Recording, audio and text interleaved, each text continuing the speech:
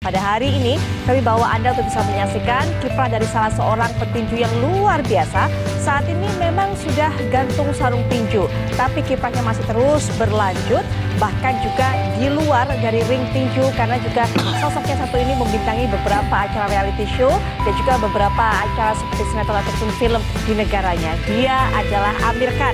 Dan kali ini kami akan mengajak Anda untuk bisa menyaksikan duel yang pernah berlangsung 2011 lalu Amir Khan versus Lemon Peterson. Kita akan lihat sebenarnya bagaimana kiprah dari Amir di saat masa-masa terbaiknya pada saat itu. Amir memang sudah memutuskan untuk pensiun sebagai seorang petinju pro. 40 laga sudah ia lewati. 2022 berhadapan dengan Kell Brook adalah pertandingan terakhirnya sebagai seorang petinju profesional. Nah, untuk bisa membahas bagaimana kiprah dari Amir Khan, sudah hadir di samping saya Bung M. Nikara. Assalamualaikum warahmatullahi wabarakatuh. Bung Nikara pagi. Waalaikumsalam pagi Putri. Sehat? Alhamdulillah Ah, mengenai Amir Khan. Putri, Mhm. sebelum kita masuk itu. Oh, iya. Ya.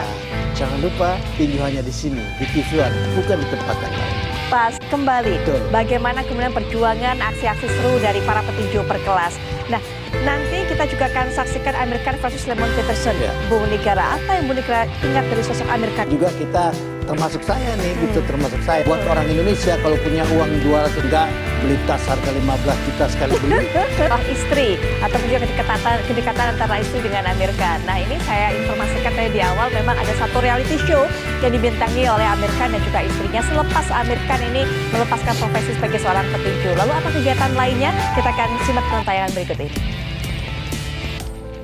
Sebagai seorang petinju memang karirnya luar biasa dan kemudian saat ini ketika sudah melepas profesinya tersebut walaupun memang saat ini juga tidak bisa jauh-jauh dari tinju tapi luar biasa juga yang dimiliki baik itu jumlah rekeningnya, asetnya itu bukti salah satu dikatakan oleh Budi Kara ada persiapan matang untuk bisa Kontrak sampai dia pulang berapa bulan kemudian dia tidak pernah bertanding. Di atasnya harus menerima fakta yang seperti sekarang saat ini begitu. Baik, kalau tadi kita sudah lihat bagaimana upaya Amir Khan memberikan pelajaran bagi para lawannya. Nah, nanti setelah jeda kita juga akan lihat Lemon Peterson memberikan pelajaran bagi Amir Khan. Setelah yang berikut ini kami segera kembali. Hey, Amir Khan versus Lemon Peterson ada empat petinju yang berhasil memberikan pelajaran bagi Lemon Peterson. Salah, eh, maaf bagi Amir Khan. Nah, salah satunya adalah Lemon Peterson yang tadi kita sudah sempat bahas di sebelumnya bahwa memang setelah berhadapan dengan Zab Judah berhasil menang dengan cepat tersandung dengan Lemon Peterson Amir Khan ini. Bagaimana saat itu ceritanya sebelum berhadapan dengan Amir Khan?